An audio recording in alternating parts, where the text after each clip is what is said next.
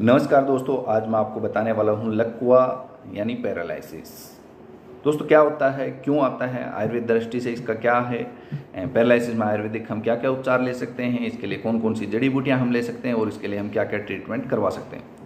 दोस्तों, सबसे पहले मैं बात करूँ पैरालिसिस यानी लकवा की तो लकवा होने पर प्रभावित हिस्सा है, वो काम करना बंद कर देता है। ये शरीर का कोई एक हिस्सा भी हो सकता है, या अपना पूरा शरीर भी हो सकता है।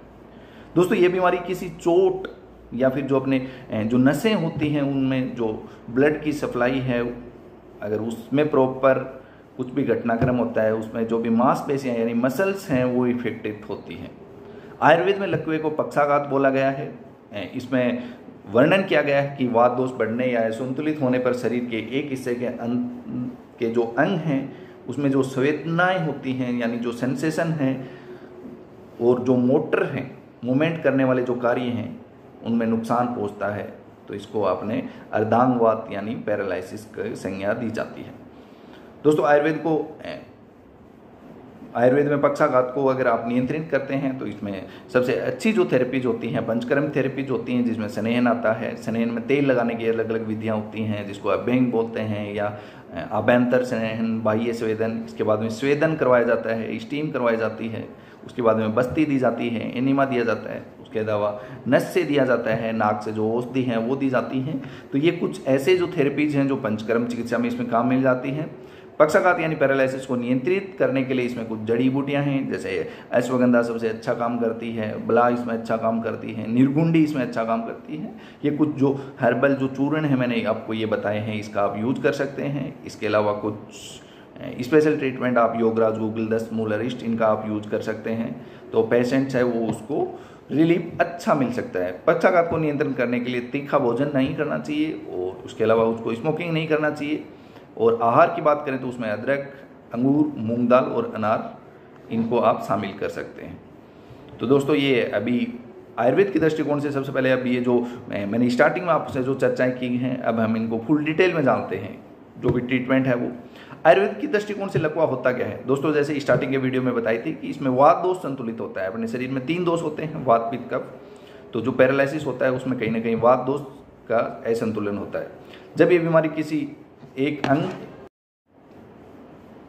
दोस्तों, एक अहम सा क्वेश्चन है कि पैरालिसिस का अगर हम टेस्ट करवाएँ तो हमें कौन सी विटामिन की कमी मिलती है? तो इसका सबसे अच्छा आंसर है विटामिन बी ट्वेल्व यानी बी कॉम्प्लेक्स की कमी।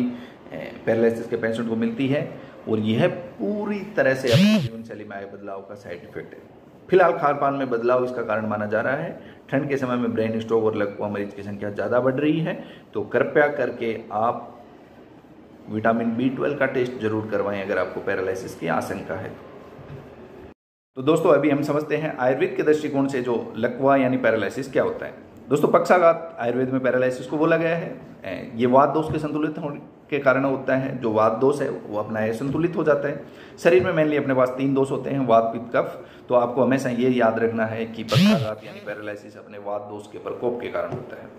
जब ये बीमारी किसी एक अंग, हाथ या पैर को प्रभावित करती है तो इसको एकांगवात बोला गया है हेमीप्लेजिया जिसको कहते हैं। जब ये बीमारी दोनों हाथ पैरों को प्रभावित करती है तो इसको सर्वांगवात बोला गया है। वोक्सन बोलने में दिक्कत और एक अर्दित अर्दित होता है, जो चेहरे का जो पैरालिसिस होता है, उसका संबंध भी पैरालिसिस से हो सकता है। आयुर्वेद के अनुसार पक्षाघात को लंबे समय तक तीन से चार महीने नियंत्रित करने के लिए आयुर्वेद में पंचकर्म होता है, जिसमें स्वेदन, स्नेहन, बस्ती सिरोबस्ती विरेचन, ये आदि जो पंचक्रम के जो प्रोसेस होते हैं, इनको हम यूज़ कर सकते हैं, जिसमें पंचक्रम में से आयुर्वेद के बहुत अच्छे रिज़ल्ट आते हैं। तो दोस्तों सबसे पहले मैं बात करूँ पैरालिसिस आयुर्वेदा के अकॉर्डिंग आता क्यों है? तो दोस्तों, इसकी तीन जो कंडीशन होती हैं, सबसे पहले मद।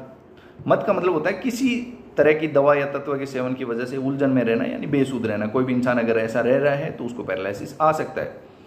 सेकंड होता है मूर्छा, यानी स्ट्रोक के कारण। कोई भी बेहोशी आ जाए तो उस कारण भी उसको पैरालिसिस का रूप दिया जा सकता है, यानी पैरालिसिस का नाम दिया जा सकता है। तीसरा होता है संन्यास। किसी चोट, यानी जो भी सीवे की जो घटना होती है, उसमें कोई व्यक्ति दिमाग के रूप से कोमा में चला जाए।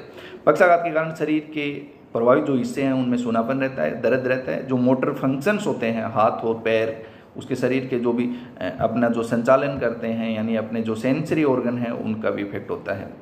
इसके अलावा पेशेंट है, उसको बहुत ज़्यादा लार गिरती है, उसकी आँखों में पानी आता रहता है, उसको चलने में दिक्कत होती रहती है और बोलने में परेशानी होती है। ये कुछ ऐसे सिम्टम हैं, जो हम इनको पैरालिसिस के सिम्टम मान सकते हैं।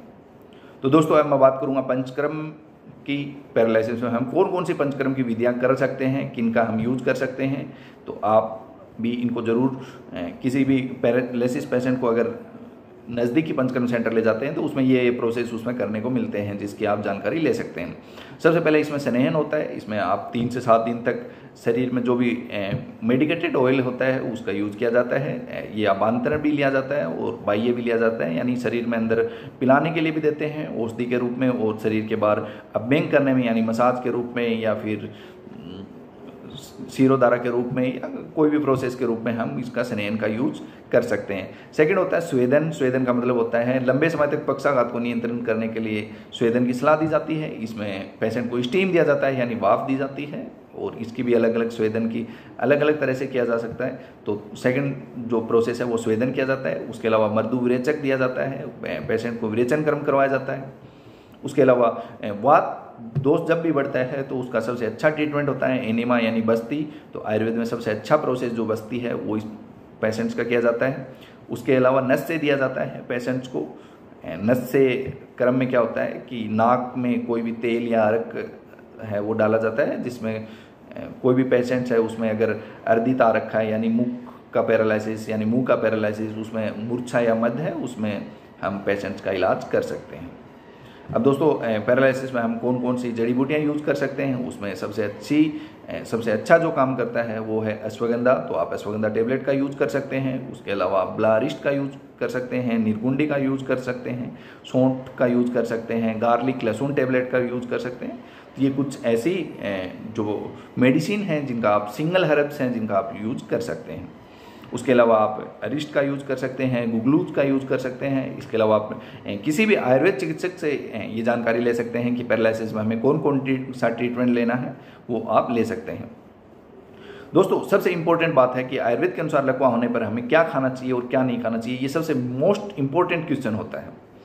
तो दोस्तों, सबसे पहले क्या खाएँ अगर आपको दैनिक आहार में अगर आप बात करते हो, आप अदरक, लहसुन, मूली, काले चने, मूंग दाल, प्याज और सफ़ेद पेठे का यूज़ कर सकते हैं। अगर आप फ्रूट्स की बात करें तो आप आम, अनार, अंगूर खा सकते हैं।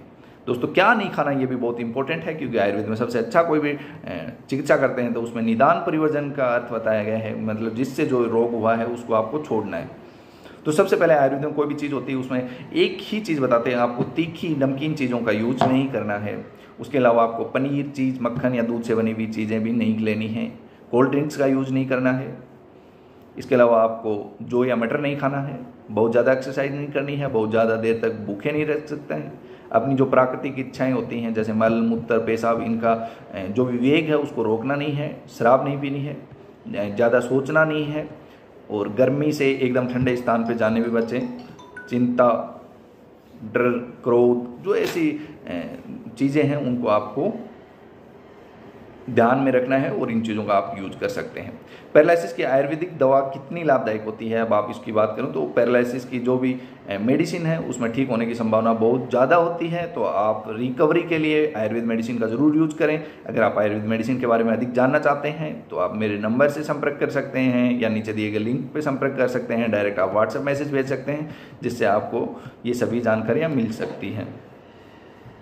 तो दोस्तों, आयुर्वेद के दृष्टिकोण से आपको आज पैरालिसिस के बारे में जो मैंने बताया होगा, वो बहुत अच्छा समझ में आया होगा। बहुत मैंने सिंपल तरीके से आपको पैरालिसिस यानी पक्षाघात के बारे में बताने की कोशिश की है। दोस्तों, ऐसी और भी वीडियो देखने के लिए आप चैनल से लगातार बने रहें। अगर आपका पैरालिसिस से संबंधित कोई भी क्वेश्चन या आंसर है तो आप डायरेक्ट मेरे से पूछ सकते हैं। तब तक के लिए थैंक यू